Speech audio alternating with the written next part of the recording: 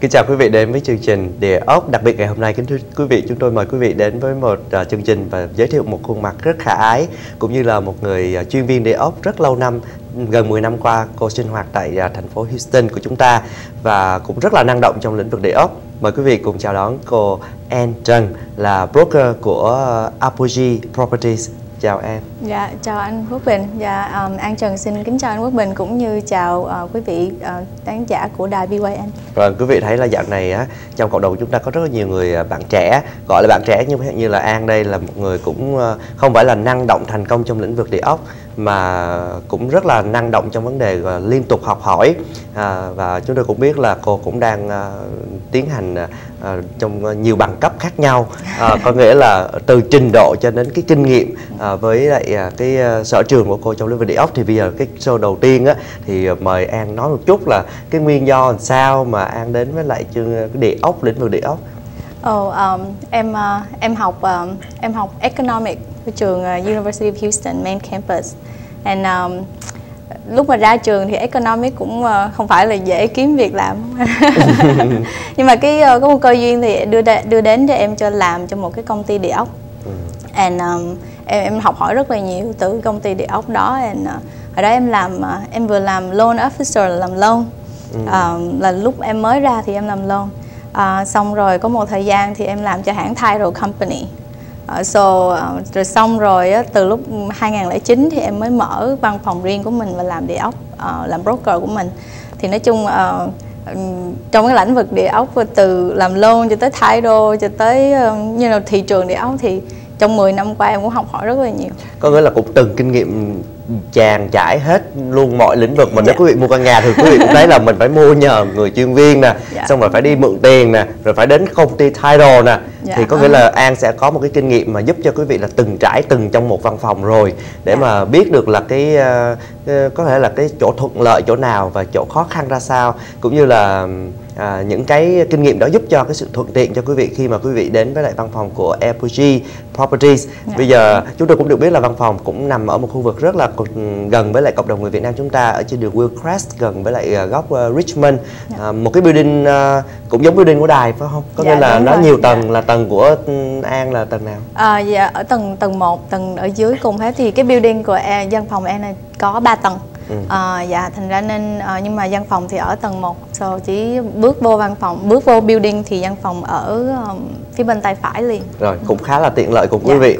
à, nhưng mà bây giờ nếu mà quý vị cũng thấy là à, An làm việc trong lĩnh vực địa ốc uh, cũng nhiều lĩnh vực nhưng mà bây giờ đó là phòng của văn phòng của An là chuyên về cái lĩnh vực nào hoặc phục vụ quý vị?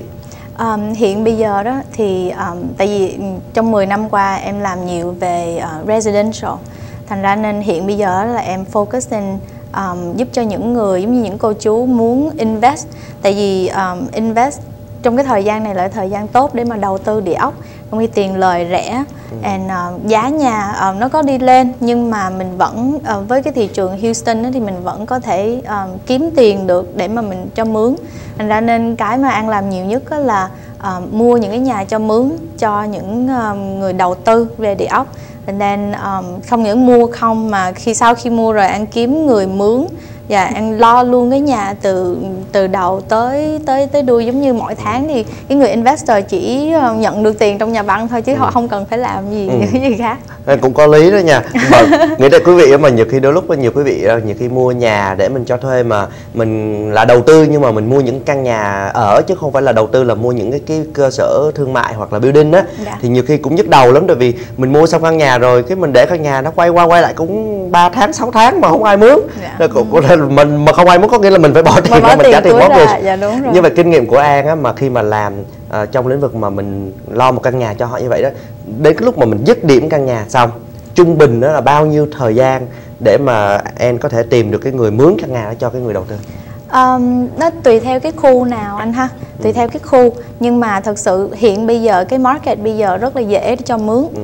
um, tại vì cái cái cái mortgage họ làm khó để mà mượn tiền mua nhà thành ra nên cái phần mà mình cho mướn được ừ. cũng rất là dễ um, thời gian mà em thấy trung bình chừng khoảng 2 tuần cho tới một tháng là nhiều wow vậy dạ. là nhanh đó ha dạ, có nghĩa là quý vị là... không phải đợi nổi mà năm bảy tháng dạ dạ không thời điểm điểm bây giờ thì không chỉ có cái là mình mình tại vì em giữ luôn cái nhà ừ. cho cho cho những người đầu tư um, cả năm luôn thành ra nên khi mà em ờ, nhận một cái người tenant đó thì thường em screen cái người đó kỹ một chút giống như họ trả tiền nhà như thế nào làm sao. Thành ra nên uh, sometimes nó phải take hai tuần cho tới một tháng.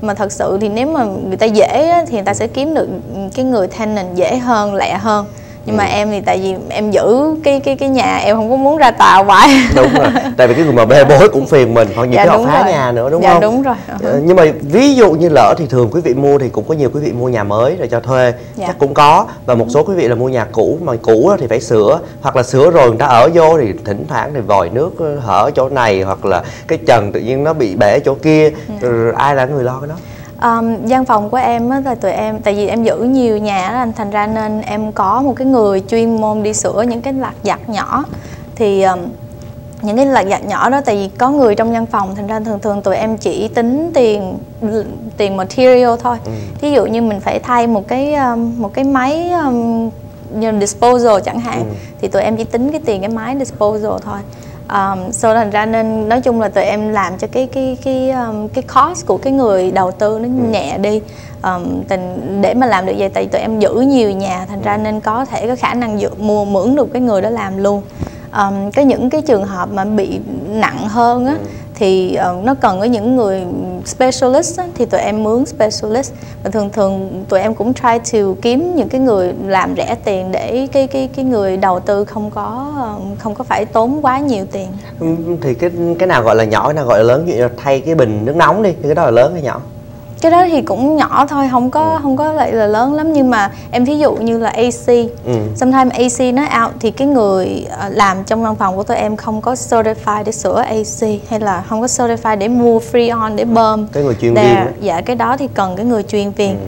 thành ra thành ra có những cái trường hợp thì mình phải cần cái người chuyên viên thì tụi em chỉ kiếm cái người chuyên viên nào tính giá cả nó nó nó um, trung bình cho mọi người không có dạ. Có nghĩa là phòng Apogee là có cái connection với một số những uh, người thợ hoặc là những cái người lo về sửa nhà. Dạ đúng. Uh, và những người đó mình tin tưởng được dạ. và mình mình làm việc họ nhiều năm rồi. Right, dạ. Thì bây giờ là lo về những cái công việc sửa để cho uh, những cái uh, nhà được cái maintenance tốt. Dạ thì cái công việc nhỏ thì cái đây là một điểm rất là lợi tại vì thật sự là quý vị thấy đó là sửa xe hay là mấy người thợ đó là thật có tiền công á, là một tiền mà tiền thợ á, là tính một tiền hoặc là hai tiền. Dạ, thành ra là quý vị C cũng là là 50 phần trăm rồi đó. Nếu dạ. mà mình như vậy thì ờ, cái chi phí đó thì ở đâu ra để mà mình văn phòng um, chịu? dạ thì tụi em tính tiền hàng tháng. Khi tụi em manage một cái property một em quản quản lý một cái cái một cái um, căn nhà thì tụi em tính tiền theo từng ừ. tháng từng cho mỗi căn nhà đó. Có nghĩa là bên văn phòng Apogee là tính theo cái flat fee hay là phần trăm cái tiền cho thuê nhà? Ví dụ là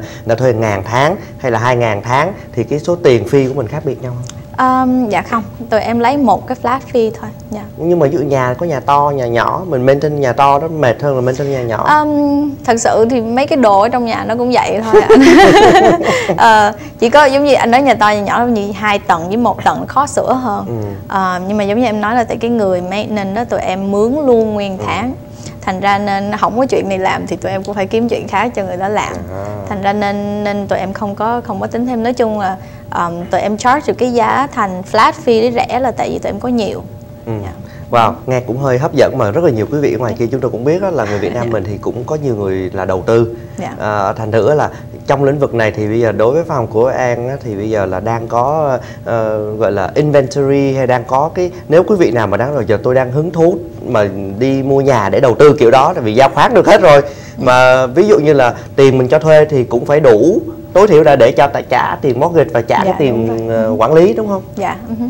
Thì um, thường thường á um, hiện bây giờ đó giống như em nói là giá nhà thì nó cũng có lên chút đỉnh nhưng mà tùy theo em vẫn có thể kiếm được những cái nhà mà um, cái cái rate of return ừ. nó nó vẫn còn rất là tốt tại vì cái giá nhà ở Houston của mình nó vẫn còn thấp so với tiền mướn ví dụ như mình có thể mua cái nhà 100 ngàn mà ừ. mình cho mướn được ngàn hai ngàn ba thành ừ. ra nên tính ra sau khi anh trừ chi phí rồi thì anh vẫn lời Ồ, oh, như vậy thì uh, quý vị nếu mà muốn á, mà đến với lại An bây giờ đó thì có những căn nhà để mà mình tìm cho người ta để mà người ta làm được cái thể loại investment đó hay không hay là phải chờ trên thị trường bây giờ nhiều người mua quá vân vân. À, dạ. Thì uh, có có những cái thì em có thể có những lúc em có liền nhưng mà không phải lúc nào em cũng có liền.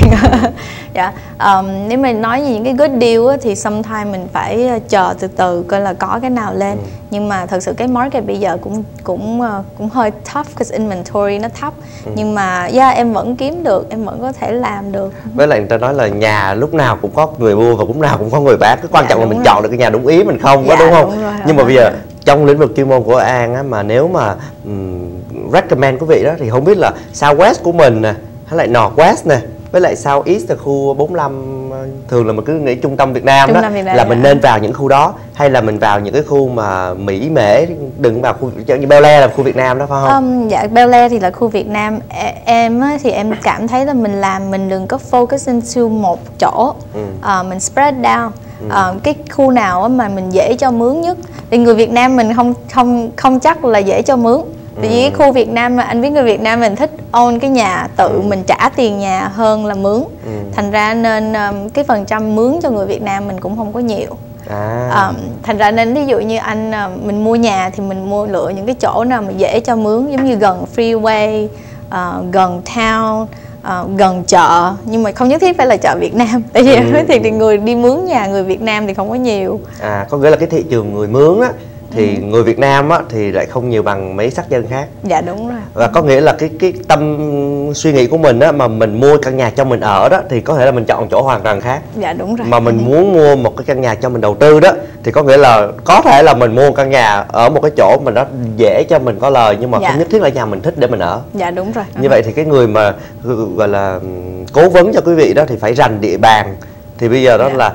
à, đối với En và văn phòng Apogee đó mà nếu mà cố vấn cho quý vị đó thì hiện bây giờ đó là có cái điểm đặc biệt gì để mà quý vị đến với văn phòng của Apogee so với là những cái văn phòng khác có những cái điểm mạnh của văn phòng của Apogee á là à. cái gì để quý vị giống như là um, đến đây là mình chắc chắn là mình có được một cái lời khuyên yeah. Dạ. cho tốt Dạ, tại vì um, An An làm trong An đã bắt đầu mở văn phòng từ uh, 2009 mình cũng giống như nói với anh đó là um, theo cái cái um, cái lúc đó thì cái market nó cũng uh, nó cũng low so với bây giờ.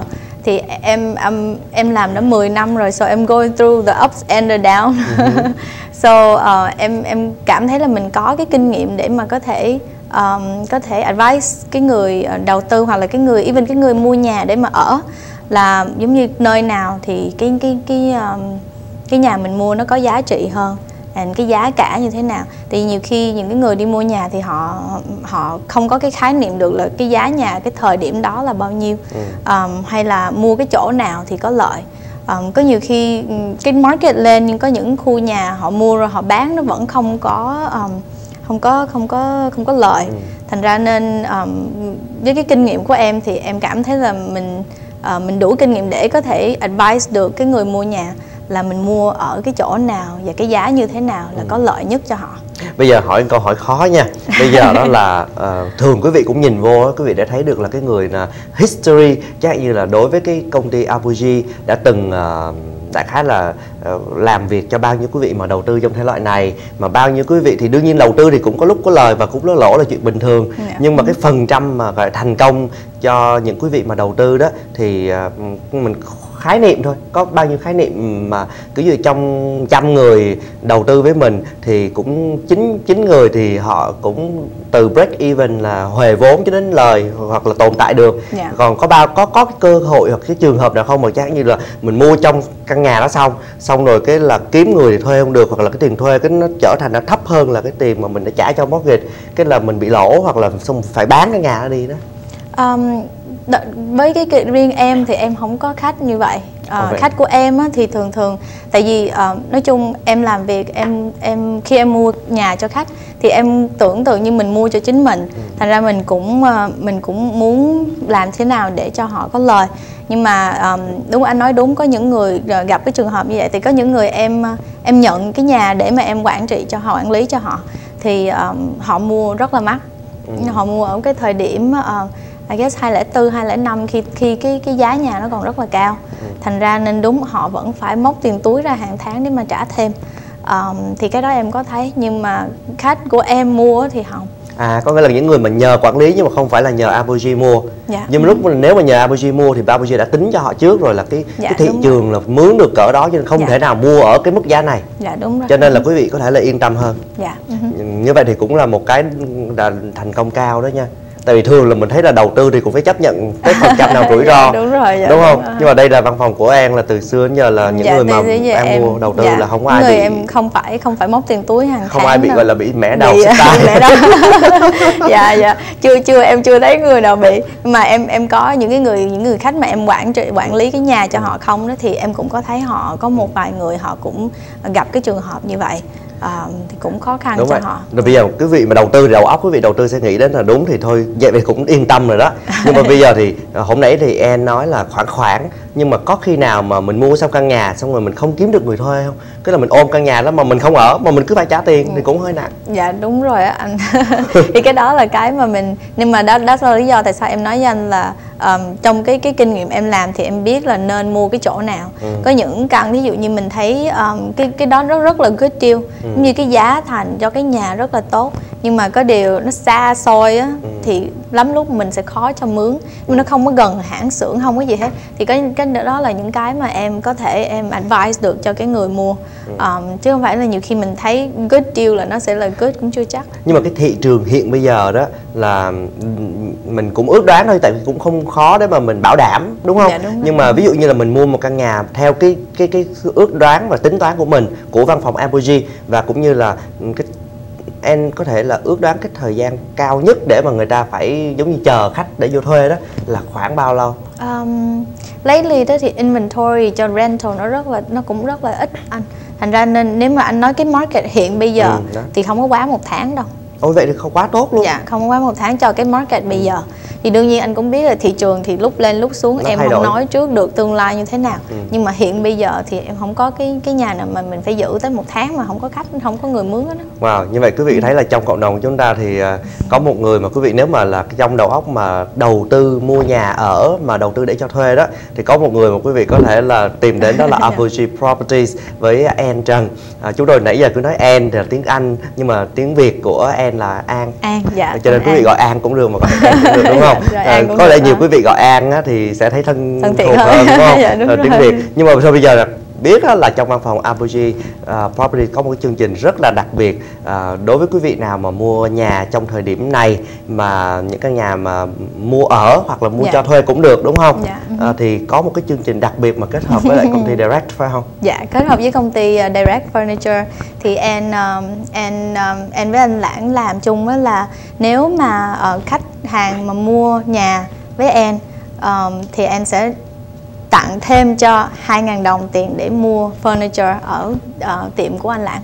Vâng. Dạ, tiệm Direct Furniture. Ừ, dạ. Đây là một cái ờ, cũng rất là quý đó kính thưa quý vị thì thường đa số cho dù quý vị mua nhà ở hoặc mua căn nhà thứ hai của mình nói thiệt là Dạ. chắc chắn là phải mua cái gì vô căn nhà đó đúng không? Dạ, đúng rồi. nếu mà không cái bộ house cũng phải cái giường Cái- đúng không dạ, đúng rồi, thì ha. cái đó là sẽ giúp cho quý vị cái tiền gọi là mình move in có được cái cái một số tiền bonus dạ, rồi dạ đúng rồi. ha, như dạ. vậy ờ, cũng hơi nhiều ha hai ngàn đồng dạ dạ thành ra nên nên điều kiện của em đó là mua ờ, nhà trên 100 ngàn thì cái đó là cái cái quà em tặng để mà khách hàng dọn vô nhà cũng giống như là nhưng mà um, anh ờ, anh lãng thì muốn mua hai món đồ Ờ, dạ như hai hai hai phần dạ. Đúng rồi, có nghĩa là quý vị được cái uh, gift certificate hoặc là cái credit đó quý vị dùng ở tại tiệm direct của anh Lãng trên đường Ba Lê Copkirk Wood đó Dạ. là quý vị hai ngàn đồng đó quý vị phải mua mua cái gì cũng được nhưng mà mua hai món Dạ. chứ không có dồn lại mua một món Dạ, đúng đúng không? rồi, dạ. Ờ, thì uh, với điều kiện là quý vị phải mua cái căn nhà trị giá đó là cái này trị giá là giá sale price hay là sale price cộng closing cộng hết mọi thứ